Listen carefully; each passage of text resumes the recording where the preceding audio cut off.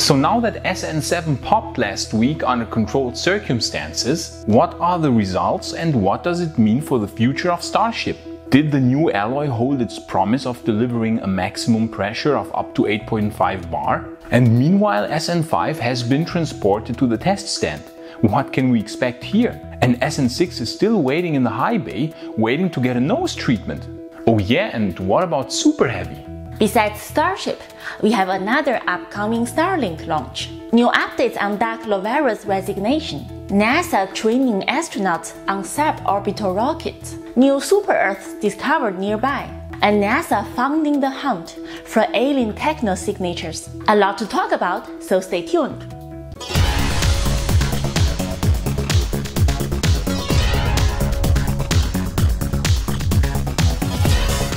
Let's take a detailed look at the current status of Starship development at Boca Chica.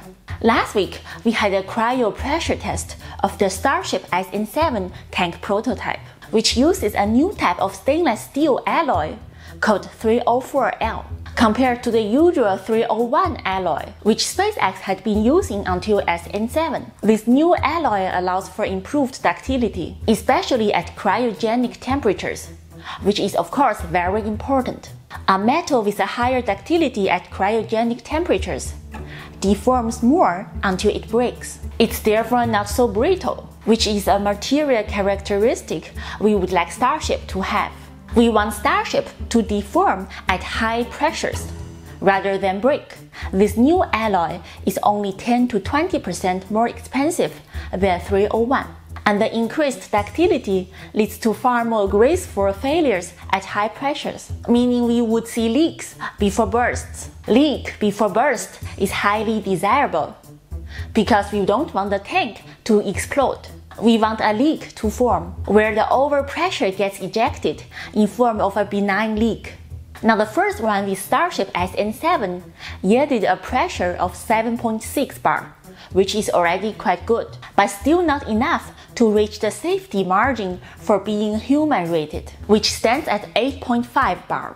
This pressure had been reached on the 28th of January, if you remember, with the Bopper test tank.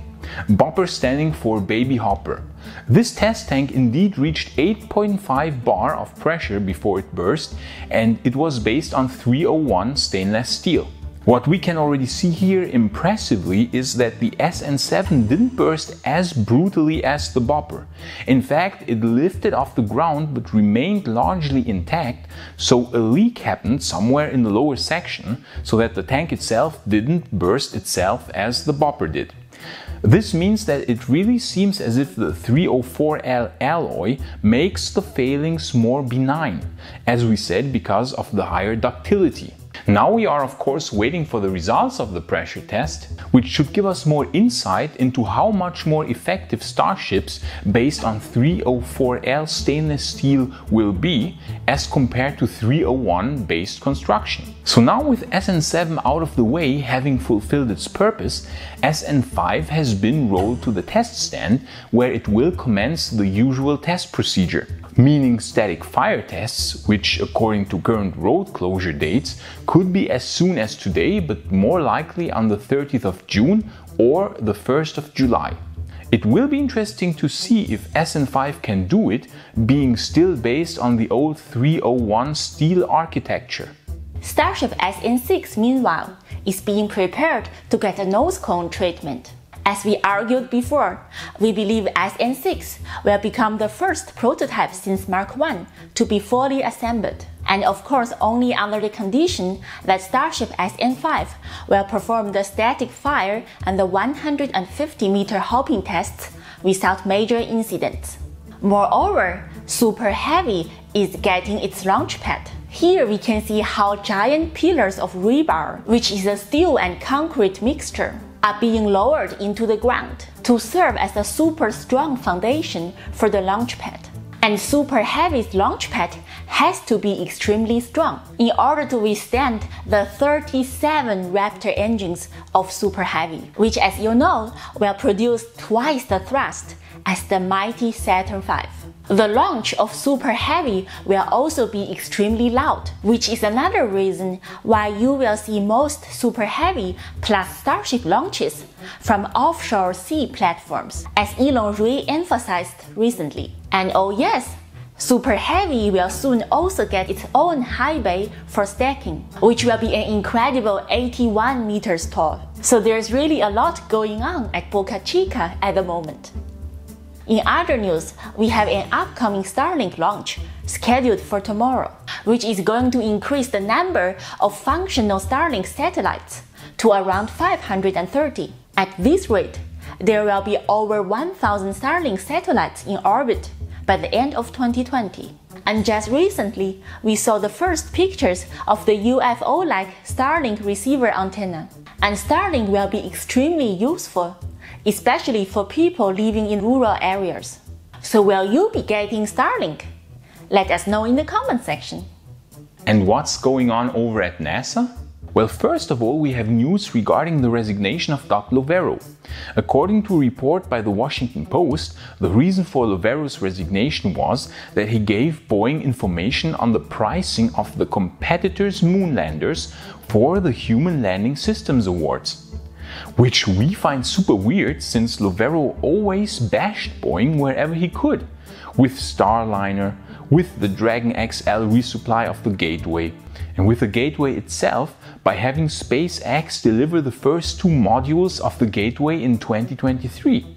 So all this time it appears as if he would disfavor Boeing and suddenly he makes an 180 degree turn and secretly starts favoring Boeing? Either he is an excellent actor or this story turns out to be false. If it turns out to be true, then Loverro will certainly have surprised us with an amazing display of acting skills. He then would have secretly favored Boeing all the time while openly pretending to disfavor them. He would go down in history as the Darth Sidious of NASA. Openly he's the friendly and caring chancellor while secretly he practices the dark arts of the Sith. This would highly disappoint us, to say the least. We will learn though if this story turns out to be true after the investigations of the Inspector General, which are currently ongoing, will be finished and the results will be released.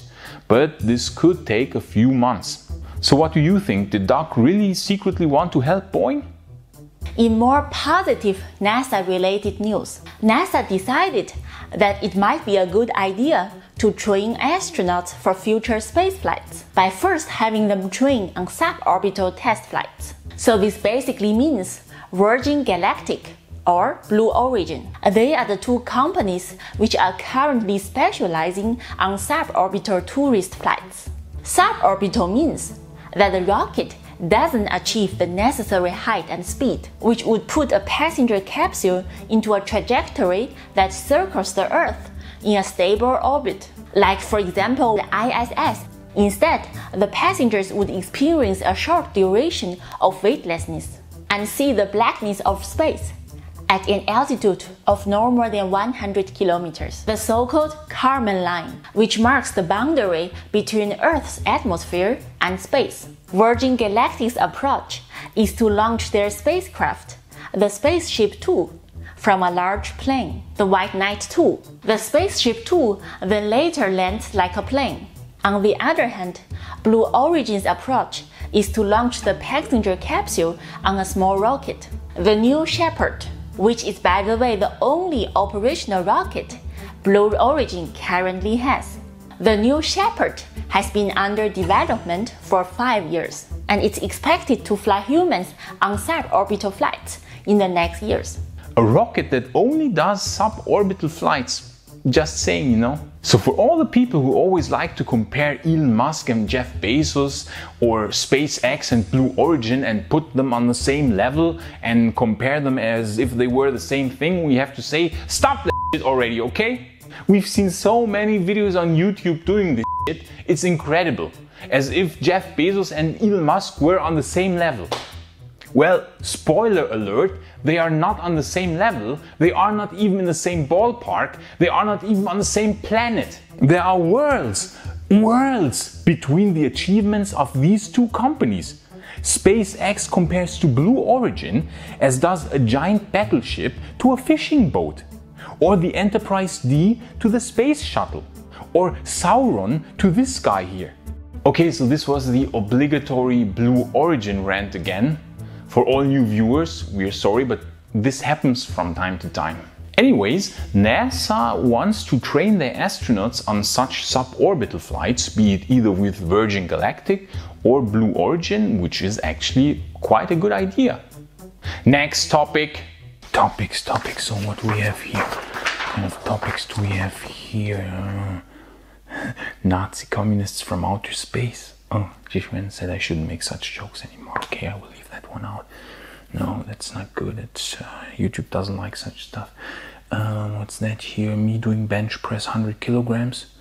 Not relevant, probably not not so relevant to space and so on. What's that here? Exoplanets. Yeah, that that sounds okay. Could be space related. Probably has to do with space. Yes, yes. Okay, okay.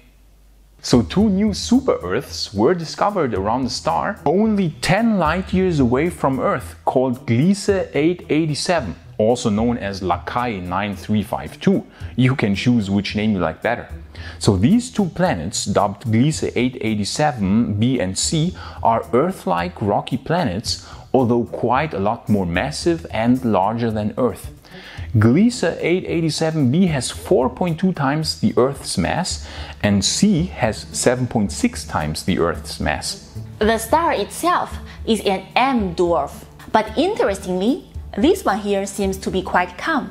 Normally, M dwarfs have really violent solar winds, stripping planets of their atmospheres. But this one here seems to be a really relaxed star. Hence, there's a really good chance that both planets can retain their atmospheres, even though they are extremely close to their host star. In fact, so close that it's very likely too hot for life to form. However, there might be a third planet in this star system, which would be situated right in the habitable zone. So the discovery of this new star system is highly interesting. Because until now, we thought that all M-type red dwarf stars are very violent. But this new discovery suggests that there might be a lot more planets supporting life. Since M dwarfs make up an incredible 50 to 70% of all stars in our home galaxy. This translates to potentially more than 100 billion rocky planets in the habitable zone with the right conditions for life. And that, of course, means aliens. And just last week, we talked about a new study suggesting that there might only be 30 technologically advanced civilizations in our home galaxy and we will link to the video in the description. And now, NASA has decided to fund a Harvard-led search for alien techno signatures.